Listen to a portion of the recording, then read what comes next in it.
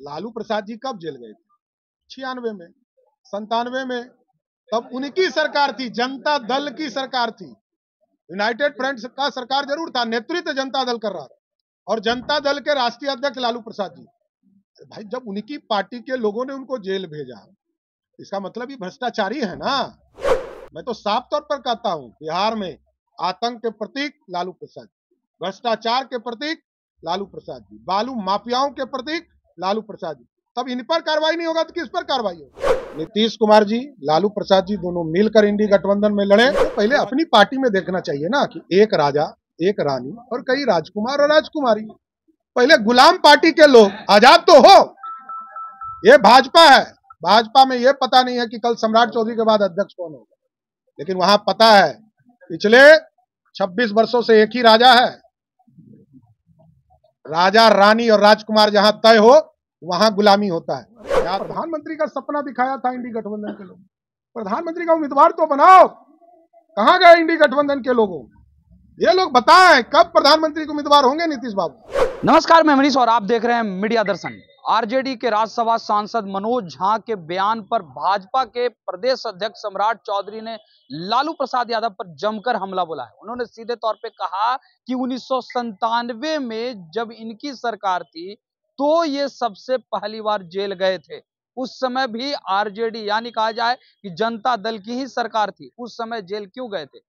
अपने लोग ही इन्हें जेल भेजे थे। इसका मतलब ये था कि ये भ्रष्टाचारी थे और इन्हें जेल भेजा गया था। और सुनिए लालू प्रसाद यादव पर सम्राट चौधरी ने क्या कुछ कहा है? सर आरजेडी की ओर से मनोज झा ने दावा किया है कि तीन चार महीने ईडी सीबीआई जो है भाजपा के कहने पर बाईस जनवरी तो को ये लोग का कहना है कि तीन चार ही महीना एक्टिव रहेगी बस यही हाँ, उसके पहले एक्टिव नहीं थी।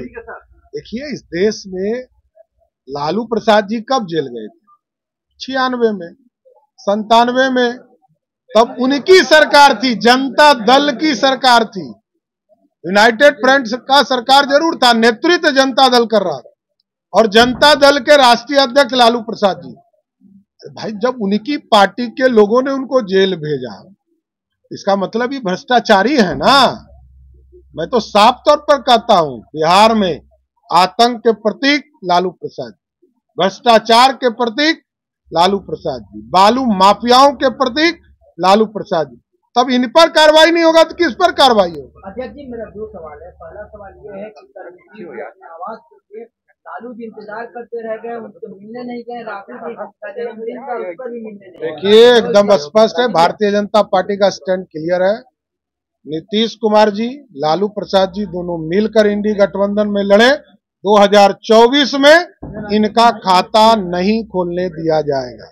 एक बैनर लगाया गया है आरजेडी के विधायक द्वारा। उसमें मंदिर पर हमला बोला गया है। देखिए वो गुलामी की मानसिकता की बात करते हैं। उनको पहले अपनी पार्टी में देखना चाहिए ना कि एक राजा एक रानी और कई राजकुमार और राजकुमारी। पहले गुलाम पार्टी के लोग आज़ाद तो हो। ये भाजपा है। भाजपा में ये पता नहीं है कि कल सम्राट चौधरी के बाद अध्यक्ष कौन होगा। लेकिन वहाँ पता है पिछले 26 वर्षों से एक ही राजा है। राजा रानी और राजकुमार जहाँ तय हो वहाँ गुलामी होता है। या तो लोकतांत्रिक पार्टी है लोकतंत्र में विश्वास करने वाली भाजपा पार्टी देखिए हम लोग को बहुत दुख है। हम लोगों के बड़े नेता रहे हैं नीतीश कुमार। हाथ जोड़कर कहता हूँ, अरे भाई, प्रधानमंत्री का सपना दिखाया था इंडी गठबंधन के लोग प्रधानमंत्री का उम्मीदवार तो बनाओ। कहाँ गए इंडी गठबंधन के लोगों? ये लोग बताएँ, कब प्रधानमंत्री के उम्मीदवार होंगे नीतीश बाबू? तो आपने सुना, सम्राट चौधरी सीधे तौर पे ये कहते हुए नज़र आ रहे हैं कि उन्नीस में जनता दल की सरकार थी। उस समय लालू प्रसाद यादव पहली बार जेल गए थे। यानी इनके अपने ही लोगों ने इन्हें जेल में भेजने का काम किया। अगर बात की जाए, आतंक का प्रतीक कोई है तो वो लालू प्रसाद यादव है। भ्रष्टाचार का प्रतीक कोई है तो वो लालू प्रसाद यादव है। बालू माफिया, भू माफिया का प्रतीक अगर कोई है तो वो लालू प्रसाद यादव हैं। इस तरह के तमाम अपडेट के लिए देखते रहे मीडिया दर्शन। धन्यवाद।